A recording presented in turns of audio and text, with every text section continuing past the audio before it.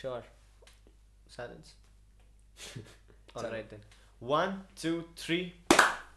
Hi, my name is Nishant Mittal. And I'm Sarthak Bhardwaj, and welcome back to another episode of I Read This Book. In this episode, we're going to feature a very special guest. She's Aashisha Chakraborty. I recently met Aashisha, and you know, as I generally do, I tell her about. I told her about the 52 books in a year campaign that we used to run. We've been running, and uh, generally people get impressed, and that's. But this time, I got a very uh, surprising response that oh, you read 50 bo- uh, 52 books. That's great.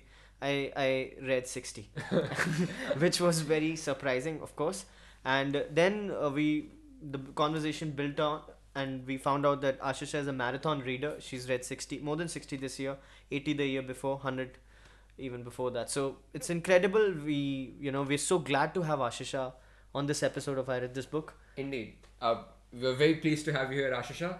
Uh, the book we are reviewing in today's episode is something that Aashisha has read. It's called Celestial Bodies. So, Aashisha, I, I want to ask you what made you pick this book up out of all the books that you've read? If you could just give me a brief summary which sort of answers that question. Okay. Hi, guys. Uh, it's wonderful to be here, and thank you so much for the illustrious introduction. I feel very flattered. Uh, this book is actually very close to my heart because it's not just the Booker Prize winning novel, but also uh, the title. The title is beautiful. It sounds like science fiction or something which might be completely different, but it's actually fiction and it's a narrative, uh, poetic kind of fiction. So it's my favorite genre. I that's why I chose it. what does the book talk about So the book talks about three generations uh, in Oman, and it talks about how uh, three different sisters have their lives interconnected, and uh, how they live their lives, and how it changes over time. So it's it's a very complicated narrative, but the the author has been able to, you know, God get it in a very cohesive manner. You know, I, I want to ask you a follow up question on similar lines. Like you said, this book has a complicated plot. Nishant also mentioned that. And often I feel a book which has multiple characters and multiple plots running simultaneously, it becomes uh, excessively difficult for the reader as well as the author to weave a coherent plot. Do you think the, although you did mention in passing that the author manages to achieve that, can you talk a little more about it? Sure. So, as I said, the narrative is a bit complicated because it is on different timelines. And when you start the book, the first chapter is from the perspective of the first sister, the eldest sister Maya.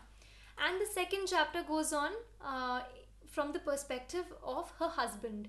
So, it moves on accordingly, and that's in a different timeline. So, at first, a reader would have to just pause and think that, okay, we are going to talk about, we're talking about this, and suddenly it's in a completely different uh, phase. But then i think that's the beauty of it you know? That's how different narratives flow. Brilliant. so this book is coming from an Omani author and uh, I don't know any other Omani author to be honest apart from the girl. How is Oman? Yeah how how did you perceive oman? I i guess you have you haven't physically been there. Was the author able to enough create a beautiful image of the was place? he able to tra- was she able to transport you to the mystic land of middle east? That's it's a good question. Uh, yes it's very important for the author to actually project a very good image of a place.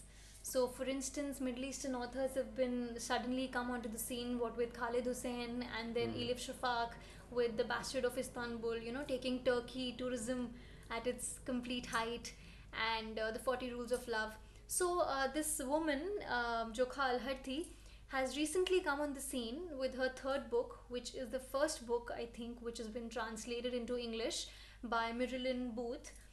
And uh, she has been able to pers- bring a very good picture of Oman. So it's not just, so we know Oman's capital is Muscat, and that's all we know about it. But that's not all. So there are these little cities and little pockets and little villages where people live and where people dream and where people think of uh, achieving something and of going somewhere.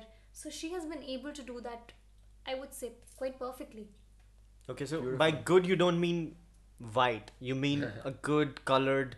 It has different shades of the place. It's not a rosy picture which is being created of Oman. Absolutely. It's Okay. not rosy at all.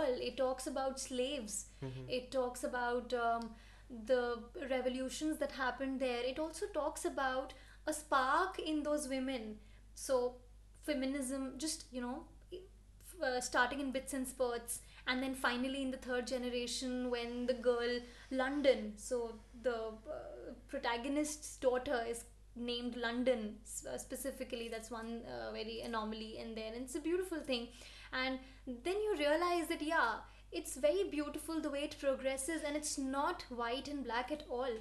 It shows a lot of aspects of everything. Fun fact: uh, Oman had a thing for slavery till 1970s. Wow. I absolutely have no knowledge of that fact. That's amazing. Yes, it did, and uh, Oma is so there is this character who, who buys a slave for I'm not sure how many rupees it is, and I don't even remember the currency, but it's like about you can buy bread or you can buy a slave. It was like that. Just 50 years ago, man. Yeah. Wow. That's great. So, You know, I, I want to ask you you are an avid reader, you are a voracious reader who reads extensively. So, of course, for you to pick up any book and enjoy it is an easy task. But this book, would you recommend to someone who is just starting out with reading? Um, I would say that a beginner might not enjoy the book so much. However, somebody who's looking for a taste of the Middle East or a taste of an exo- exotic locale or a different culture would definitely love this book because it gives you a heart to heart account of how things work. So, for instance, you talk about the City of Joy and you know how it talks about Calcutta Yeah. and you get a feel of it. Similarly, when you see uh, when you read William Dalrymple's uh, The Last Mughal, Oh, I've read that book. I, I love William Dalrymple. Sorry to have cut you. Uh, please go on. okay. so as as I say that you you know you can see the Mughal Empire flourishing. So that's how she does it. And if somebody enjoys historical fiction or a fiction that you know uh, emanates from different pockets of the world, I'm sure that person will definitely enjoy this book. Brilliant. But in the last Mughal, that's actually about the fall of the Mughal Empire and not the flourishing Right. Mughal Empire. But also, okay, we're not talking about the last Mughal. No, but, I mean, but since the but- conversation. yeah, but it uh, also talks about how cosmopolitan Delhi used to be ah, right, of before course. That's before true. the British, you know, That's- did that's true. partitioned India That's and true. Pakistan. Mm-hmm, So indeed. that's something which comes out very well. it's interesting. That's pretty good. So, would you, I mean, uh, if you're recommending this book to anybody, uh, what would be your words? What would you say before handing it over? So I will um, talk about one quote that I remember from the book. It's uh, of all the celestial bodies, the closest, the one closest to the matters of the lower world is the moon. And it's a perfect gift if you just write this quote in a fortune cookie and you attach a book to it. I think they're the perfect gift ever. That's beautiful. So That's very nice. you should not forget to thank me, the audience, for such amazing gift ideas. Yeah. Yeah. I think that's a beautiful note to Yeah. end this It's a conversation. good on. conversation. Great conversation. Ashika, uh, Ashish, it was sorry. I, it was lovely to have you here with us, and hope we can do it another time as well. Yes, yes. It was lovely indeed. Thank you so much for Thank joining us. Thank you so much for inviting me. I loved it. We are really happy uh, to have done the fourth episode. I hope, we hope that you enjoyed it as well. If you liked it, then do tell us in the comment section and like the video, share, subscribe. You know the usual. And more importantly, if you didn't like the video, be sure to tell us. Dislike the video, share it with your friends, and tell them h- how bad it is. We're looking forward to that. Uh, social media currency it is. Uh, great. See you. Thank See you you. next time. Bye Bye. bye.